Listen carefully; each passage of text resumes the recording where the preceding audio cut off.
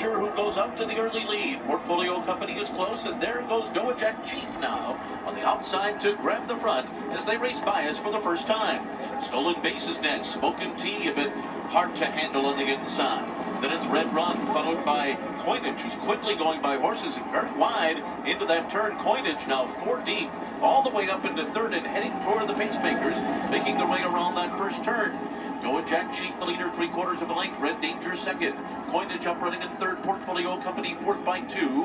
After that comes Stolen Base. And then it's Smoking Tea to the inside, followed by Red Run. Side Dog is outside of main event. And Balnikoff at the back of the pack. So up the backstretch they go and through the first half mile here, which is up in 49.27 seconds. It is Doa Jack Chief on top by three quarters of a length. Red Danger continues to track in second. Coinage, who made that early wide move, is third on the outside. Portfolio Company is fourth and riding the rail into the turn with four lengths to make up. Then Stolen Base, followed by Smoking Tea.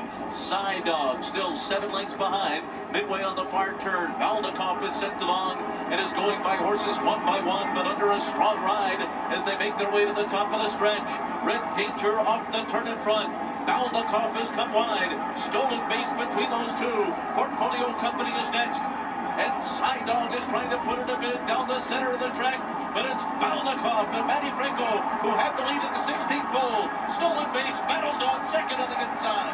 Stolen Base, Balnikoff. Stolen Base has it. Stolen Base and it Prat by a length and a half over Balnikoff.